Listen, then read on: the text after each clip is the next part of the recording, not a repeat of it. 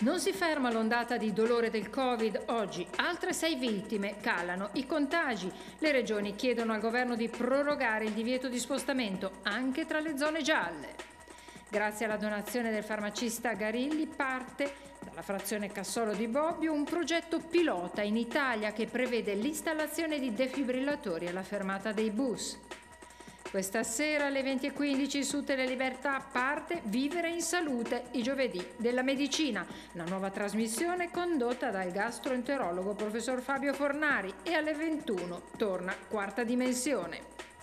Parrocchie e oratori aprono le porte agli studenti delle superiori per la didattica a distanza nel rispetto dei protocolli sanitari. L'obiettivo è recuperare la socialità. Pallavolo con la vittoria dei Brianzoli. Su Verona si è chiusa la regular season di Superlega. Piacenza scivola al sesto posto. Agli ottavi dei playoff incontrerà Padova.